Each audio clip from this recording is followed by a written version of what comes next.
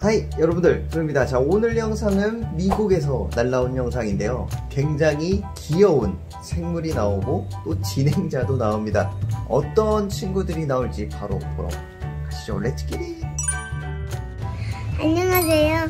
전 아이린 킴이에요. 이거는 leopard 육지 거북이고요. 이거는 버마 벌거북이에요. 오늘은 날씨가 조- 좋아서 거북이들을 데리고 나갔는데 어제는 비가 와서 못 데리고 나갔어요. 얘네들 햇볕을 쬐게 해줄 거예요. 귀엽죠? 날씨가 좋으면 얘네들이 풀 뜯어먹고 햇볕도 떼요.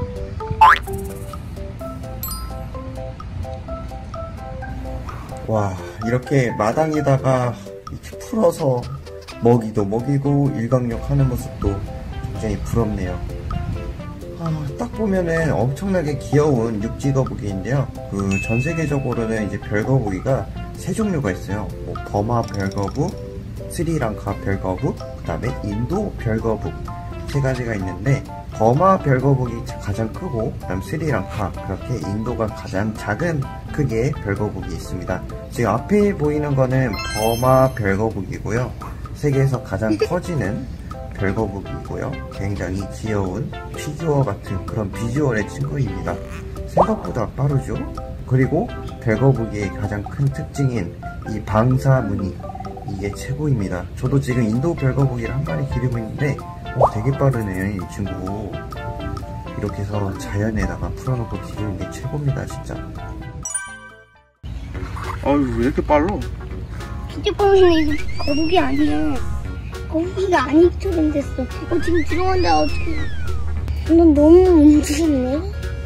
이렇게 밝은 부분이 성장선이에요 성장선 이제 성장선이 나와서 배갑도 그렇고 이렇게 크고 있는 거예요 이게 1년 반 정도 된 개체 와 그리고 지금 앞에 있는 게 레오파드 육지거북이라는 친구인데요. 이 친구는 그냥 레오파드가 아니라 또 크림 레오파드라고 해요. 와 저거 하얀 부분이 굉장히 비율이 크네요. 컸을 때 짱 이쁘겠다. 이렇게 온욕을 한 하루에 15분에서 20분 정도 시켜줘요. 어, 매일은 지금 가장 어린 개체는 매일매일 시켜주고요 어, 좀 큰 개체들은 어, 한 이틀에 한 번, 3일에 한 번 정도 이렇게 시켜주고 어, 지금 여름이고 날씨가 좋아서 밖에서 이렇게 온욕을 시켜주고 있고 그리고 온욕 시킬 때마다 이 소화가 어, 계속 촉진돼 가지고 신진대사가 활발해져서 온욕 시키면 뭐 다 아시겠지만 계속 똥을 온욕통에 삽니다.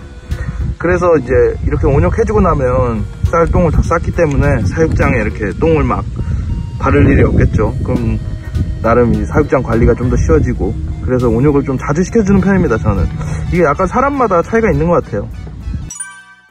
이게 이미 어, 애들이 밖에서 밥을 많이 먹은 상태라 조금 간소하게 야외에서 먹을 간식처럼 준비했는데 마주리 육지거북용 사료랑 또 치커리랑 뭐 선인장 가루 또 건축가루 또 비타민제 뭐 이런 거 섞어서 유산균도 좀 넣어주고 거북이요 이렇게 해가지고 이제 매일 피딩 하고 있습니다 또 뭐 여러 가지 야채들 그때그때 있는 것들로 해서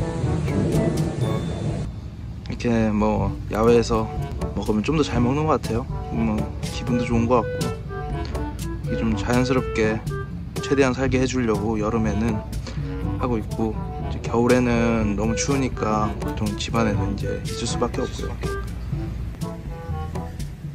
네, 맞습니다. 우리 여러분들도 이제 집에서 키우시는 육지거북이들 또는 파충류들, 다양한 생물들이 있는데 집 안에서 또는 사육장 안에서만 있는 것보다는 이렇게 자연 일광욕도 받고 사람도 일광욕을 받으면 좋은 것처럼 야외 활동을 이런 조금씩은 날씨 환경에 맞게 시켜주는 게 굉장히 좋습니다. 이 친구들도 지금 자연 일광욕을 받으면서 식사도 하고 산책도 하고 좋은 공기를 마시면서 굉장히 좋은 컨디션 활동성을 보여주고 있는 것 같아요. 딱 봐도 굉장히 윤기도 자르르 굉장히 건강해 보이는 그런 모습이 딱 보이죠? 아이고 잘 먹는다 하지만 사이테스 1급이라서 아무나 누구나 키울 수 없는 이 별거북이 어, 이게 사육장 셋업인데요. 어, 지금 이렇게 세라믹 밑에 이렇게 모여 있고 또 이렇게 은신저 밑에도 좀 모여 있고요. 이게 이제 아직 거북이들이 어려가지고 이렇게 이제 그 storage bin에다가 넣어놓은 건데 어, 미국 breeder들은 많이들 이렇게 해요. 어렸을 때는 또 너무 사육장이 크면 관리가 어렵고 또 얘는 이제 밥 주고 하는 게 쉽지 않으니까 이렇게 좀 저렴하게 setup을 해놓고 어, 키우고요. 보통 이 hot spot 쪽에 이쪽에 이제 습기를 좀 많이 주고요. 그래서 보면 이렇게 컬러가 좀 다르죠. 이쪽이 좀 더 어둡고 그리고 먹이는 여기 있고 여기 이제 열받으면 조금 더 따뜻해지는 돌 하나 놔뒀고요.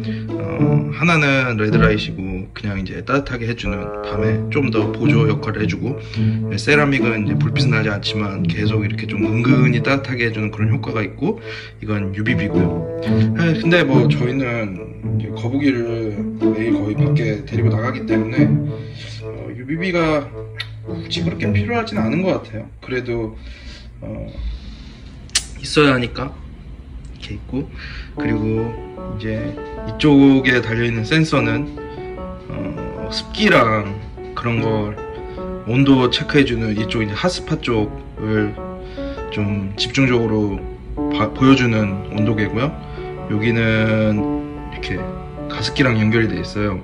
이게 자주 켜지게는 돼 있지 않고 너무 습도가 내려가면 혹시나 하는 마음에 이렇게 해놓은 거고요. 거의 켜질 일은 없는 것 같고요. 계속 여기 쪽에 수분을 주기 때문에 그리고 여기에 이제 또 쿨존 온도 재는 어, 온도계가 하나 더 달려 있고 저쪽에 보면 이거는 그 오징어 뼈 오징어 뼈가 있고요.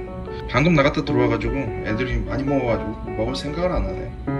이 사육장 setup에 들어간 비용은 굉장히 낮아요. 이거 이거는 화분 반으로 자른 거고요. 톱으로 뭐 화분이야 뭐 몇천 원이고 그리고 이 storage bin이 한이 그 미국에서 지금 팔고 있는 storage bin 중에 가장 큰 사이즈거든요. 이게 한 가로가 1.7m 정도 조금 더 넘을 것 같고 이, 이 폭도 상당히 넓고 거북이 크게 보면 그 저희가 제가 이제 거북이 분양 받을 때 거북이 한 30년 정도 키우신 할아버님이 이렇게 일단은 어, 괜히 사육장에 너무 돈 쓰지 말고 이렇게 해서 이제 키우다가 어, 거북이가 이제 좀 사이즈가 나오면 그때 이제 그 사이즈에 맞춰가지고 사육장을 어, 만들어 주거나 하라고 그래가지고 그 사육장 만드는 설계도는 받아놨는데 어, 아직 이제 재료 같은 것도 사야 되고 아직 만들진 않았어요. 아직 어려가지고 어, 이제 겨우 1년 반 정도 된 개체들이랑 또 나온 지 얼마 안 된 진짜 어린 개체뿐이라서 아직 어, 아직 한참 남았습니다.